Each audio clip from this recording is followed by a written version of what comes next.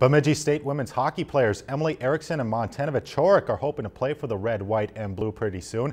Both players will be taking part in the 2012 USA Hockey Women's Winter Training Camp next week. The camp includes 39 other players from across the country, including 16 Olympians and 21 players from the 2011 Four Nations Cup Championship team. Erickson is second on the team with 22 points this season. Vichorek is tied for third with 19 points. Both of them say they're excited and nervous, but are ready to represent Bemidji State.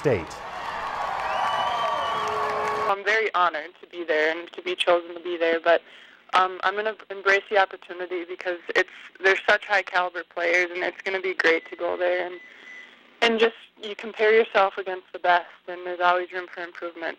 Definitely an honor to make the camp because a lot of players don't ever get that opportunity, but it would be great to make the team and keep going with it as well. And the camp goes from December 26th to the 31st.